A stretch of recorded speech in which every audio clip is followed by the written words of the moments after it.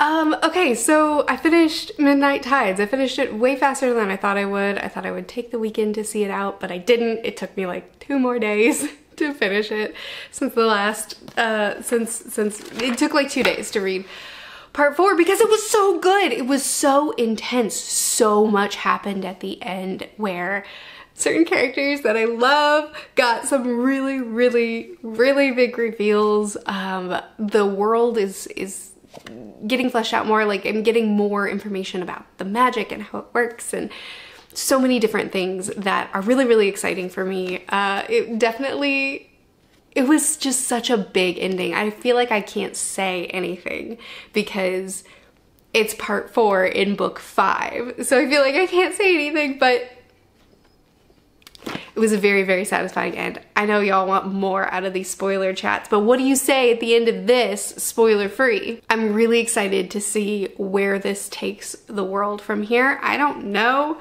and I don't know if the next book, I don't know where, what region we're gonna be in, what timeline we're gonna be in, who, what characters we're gonna follow, I don't know. But this was my favorite Malazan book so far. This was my favorite Malazan book so far. It was the most readable one. I loved the characters. I loved the reveals. I loved so much that happened in this book. Oh my goodness. I need to go back over my notes. I need to get some thoughts together so that we can do a spoiler talk so that we can have a satisfying discussion because I know some of y'all don't love the spoiler free, you know, very broad feelings more so than discussions. So I need to get my, my, my notes together. I don't know when the videos, it's definitely going up this month, but beyond that, I have a lot of collecting of thoughts to do. I did start Lone Women, which uh, I started it on audiobook and so far so very good. It's I just did part 1. This is split into 3 parts. It's very short. It's under 300 pages and it's split into 3 parts. So it'll be a breeze to get through immediately after the chunker of Malazan. So I did start that and part one has been excellent. It's uh, mystery horror is the vibes that I'm getting. Um, our protagonist starts off by burning her house as well as the bodies of her family members that have just died and she's carrying along this massive trunk that she's very possessive over and that she needs to keep with her and holds a lot of mysteries and holds a lot of her secrets and she's taking it across the country. And so far this author is doing an amazing job of making it withholding information from us without it being annoying, without it being like, oh my goodness, you're just trying to drag out this mystery. So far, it's just a lot of eerie, strange, a lot of questions and little clues for us to try to piece together. A lot, a lot of questions. So far, the suspense is written very, very well. So super excited about that one. Super, super hopeful about that one. Welcome to the vlog.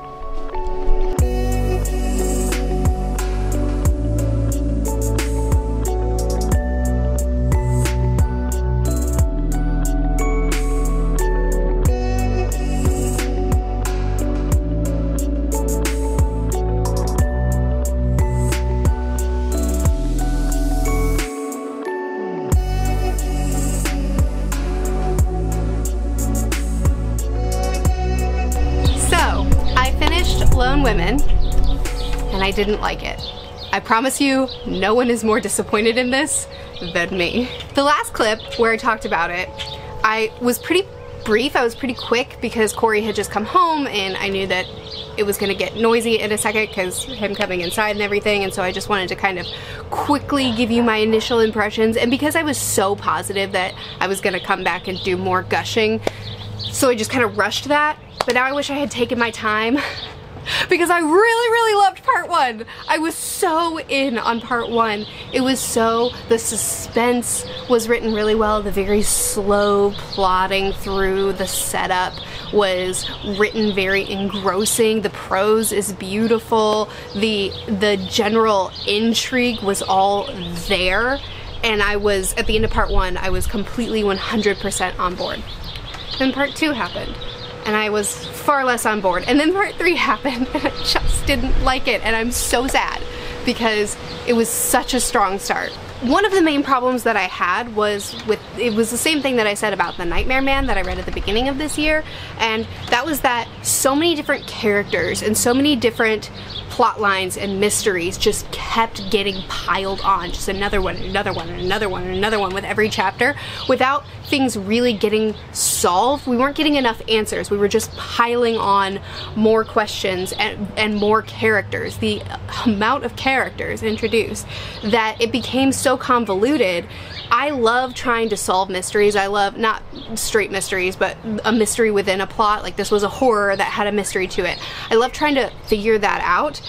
And I love trying to piece things together, but this had so many open threads that at some point I was just like, forget it. Just I threw all the threads up in the air and I was like, I'm not gonna keep trying to keep track of all this at the same time, the characters that were introduced, at first it was intriguing and it was like, what is this character story? What is that character doing? What is this?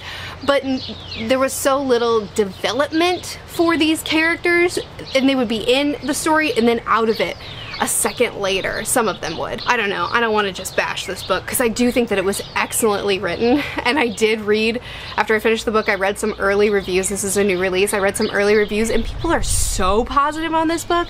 So I want you to know that the early reception of this book is overwhelmingly positive. So I don't want to, if you were interested in picking this up, I don't want to be the reason you don't. Still check it out if you had initially planned on reading it and now you hear that I'm not, that I didn't jive with it, still check it out because again, early reception is overwhelmingly positive. I just got to be honest with you about my reception of it and I just didn't like it. I felt like there were a lot of things just being piled on one after another and I didn't think that it ended up being satisfying. A lot of them stayed hanging there. A lot of them didn't get resolved and the things that did get resolved I didn't love the way it all turned out. Plus this is a survival story. This is a true thing that happened in history. Women going across the country, traveling across country to to homestead. And it's like, it's a really fascinating piece of history and, and a, a piece of history where these women had to survive. And I just feel like that, that part of the story didn't get any of the focus and that would have been a really interesting thing to add to the suspense and the tension and it just kind of got glossed over for the most part. I mean, she was definitely very grateful when she was handed food, but the survival side of it, the homesteading side of it was kind of just dressing. It was garnish on the plate. It wasn't the story. It just didn't work for me for a lot of different reasons. Again, early reception, very positive, so don't let me turn you off to it, but that unfortunately that is that is the way I felt about it. I just it just didn't it what it didn't work for me. Excellently written as far as prose go. But as far as the story coming together, unfortunately, it wasn't mine. However, I have started a book that I love. Don Quixote, a classic that I've had on my shelf for a very long time and have put off for a very long time. One, because it's really thick, and two, because I've always been, I've always heard make sure you get a good translation. This is a Spanish novel and originally written in Spanish and some translations are apparently really poor, some are really good and that's also kind of intimidated me but you know Google exists so I looked it up and the one that I've had on my shelf for a long time is generally considered good. John Rutherford translated this one and it's so good. I want to tell you the setup of this because it's so funny. So the setup of this is that our protagonist Don Quixote whose name we're not entirely sure what his original name is but that's his adopted name after he decided that he was gonna go off on this adventure. Um, he had read too many fiction novels is essentially what it comes down to. Too many adventure stories and lost his mind because of it. and so this is a story about a truly insane man going off on adventures, some of which are like fighting and seeing a flock of sheep and being determined, this is an army and I must fight them, and then running off to fight a flock of sheep and getting pummeled, pummeled in the process, and then Another instance, probably one you've heard of because it's the most iconic, I think, scene in Don Quixote where he sees windmills and he's convinced these are giants with six feet long arms and I must fight them! So he goes to fight them and gets pummeled. That's how a lot of these things go. But also his squire, Sancho, is so funny where he's constantly imploring Don Quixote, telling him, Sir, I, I assure you, that's a windmill. Please don't fight it. And Don Quixote, because uh, because his his squire is beneath him class wise, he really just doesn't take anything he says seriously, and because he's insane, he doesn't take anything he says seriously and just goes off and continues on his merry adventures. But anyway, this is the description we get of him. In short, our our Hidalgo was soon so absorbed in these books that his nights were spent reading from dusk till dawn. His days were dawn till dusk, until the lack of sleep and the excess of reading withered his brain and he went mad. Everything he read in his books took possession of his imagination. Enchantments, fights, battles, challenges, wounds, sweet nothings, love affairs, storms, and impossible absurdities. The idea that this whole fabric of famous fabrications was real so, es so established itself in his mind that no history in the world was truer for him. This is a comedy. It's satire fiction.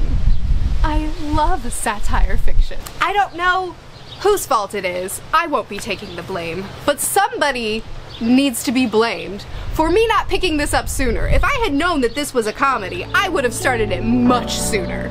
I'm 147 pages in, and I love it.